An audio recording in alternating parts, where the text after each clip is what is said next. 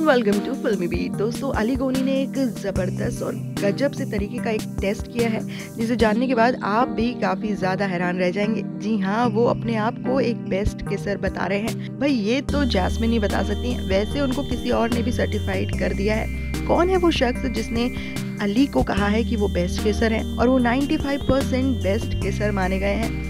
Well ये खिताब उन्हें किसने दिया है? जैस्मिन के अलावा चलिए आपको बताते हैं। लेकिन अगर आप हमारे चैनल पर नए हैं और आपने चैनल अभी तक सब्सक्राइब नहीं किया है तो जल्दी से कर लीजिएगा, ताकि आपको मिल सके सारी लेटेस्ट गॉसिप एंड अपडेट तो दोस्तों बिग बॉस के घर से बाहर आने के बाद जैस्मिन और अली काफ़ी ज़्यादा चर्चाओं में है। कभी तो अपने गाने को लेकर तो कभी अपनी रोमांटिक जोड़ी को लेकर। जी हाँ इन दोनों की जोड़ी फैंस को काफ़ी पसंद आती है और इस जोड़ी की काफ़ी दीवाने भी हैं। वेल well, अली गोनी काफ़ी रोमांटिक और हैंडसम माने गए हैं। वो काफ़ी फ़नी भी हैं और वो जैस्मिन के साथ काफ़ी अच्छी बॉन्डिंग शेयर करते हैं। आपको बता दें कि अली गोनी बेस्ट के सर माने गए हैं। वेल इमरान हाशमी के बाद अली गोनी को ये टैग किसने दे दिया है?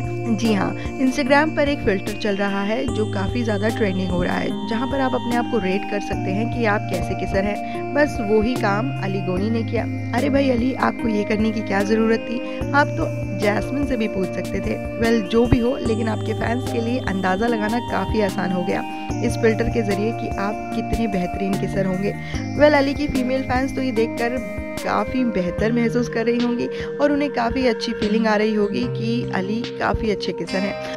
वेल ज़्यादा खुश होने की ज़रूरत नहीं है, ये मौका तो सिर्फ़ एक एक्सक्लूसिव बंदे के पास ही है, जो है जासमिन बसीन फ़िलहाल तो ये वीडियो आपको कैसी लगी है, हमें कमेंट्स के ज़रिए बताइएगा। पसंद आई हो तो लाइक शेयर करना मत भूलिएगा। चैनल को सब्सक्राइब कर दीजिएगा and do not forget to hit the bell icon